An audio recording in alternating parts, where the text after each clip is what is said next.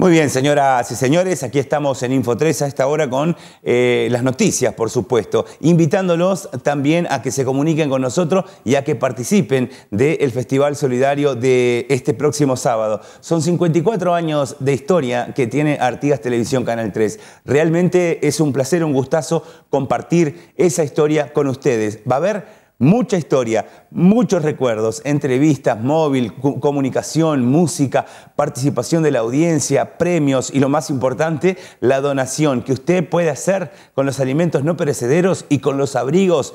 Por supuesto, para abrigar a aquellos que más lo necesitan de cara al invierno que se avecina. Ay, se avecina un invierno cruel, así que va a ser muy importante su donación. Continuamos desarrollando las noticias, unas 700 padrones, unos 700 padrones urbanos y rurales ya han regularizado su situación aprovechando el plan Pago Fácil de la Intendencia Departamental, cuya primera etapa vence este próximo lunes, 21 de junio. Sí, eh, estamos viendo ya los últimos días de la primera etapa del plan de recuperación de adeudos. Eh, por suerte, los contribuyentes han, han, acudido desde un inicio, desde el inicio de este plan en, gran número para, para, acogerse de los beneficios del plan. Eh, bueno, el mismo se vio interrumpido por el tema de la pandemia, se tuvo que cortar un, periodo donde la Intendencia permaneció cerrada, por lo cual se dio una prórroga de, por 60 días más, la que está venciendo el próximo lunes. Este, bueno, comentarles que lo que está venciendo es la primera etapa en donde los beneficios son mayores, eh, estamos hablando que para aquellos contribuyentes eh, que tengan multas y recargos en, bueno, en, sus tributos tendrán el beneficio de, la exoneración del 100% de las multas y los recargos. Este, recordarles que el plan eh, abarca todos los tributos que se abonan acá en la Intendencia, excepto la patente de, vehículos que es administrada por el SUSIBE. Los demás tributos están todos comprendidos dentro del plan. También se puede, para aquellas personas que no puedan hacer el pago del contado, se puede convenir su deuda y en ese caso van a tener el beneficio de exonerar el 85% de las multas y el 90% de los recargos.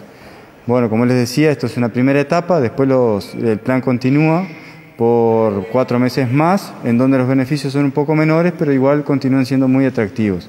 Este, para que tengan una idea, hablamos al momento se han regularizado alrededor de 700 padrones entre padrones urbanos y rurales, o sea que es un número muy, muy bueno y, indica de que la población está eh, sacando provecho de este, de este beneficio, ¿no? de este plan. Y aquí está el lunes, contador. Las personas eh, que quieran venir a regularizar, como usted decía, y acogerse en este plan, ¿qué tienen que hacer? ¿Con qué documentación tienen que venir? ¿Cómo, cómo es el trámite para, para refrescarle un poquito la memoria a los contribuyentes?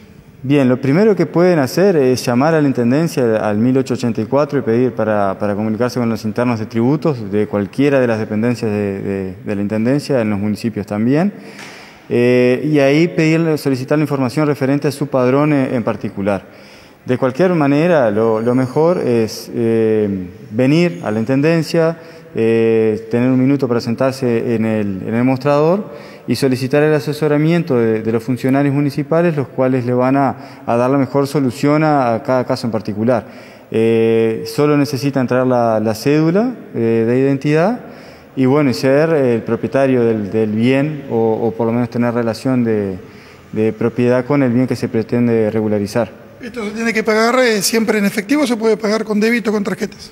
Se puede pagar con, transferencia bancaria, o sea, a través del sistema de pagos de, del Banco República, de, bueno, de todos los bancos de plaza, eh, eh, entrando a la página web de la Intendencia donde está pagos, pagos en línea, por ahí se puede hacer los pagos después del convenio. Eh, también están habilitados todos los, los red pagos, Hábitat, todas las redes de cobranza habilitadas y bueno, la, la caja de la Intendencia también.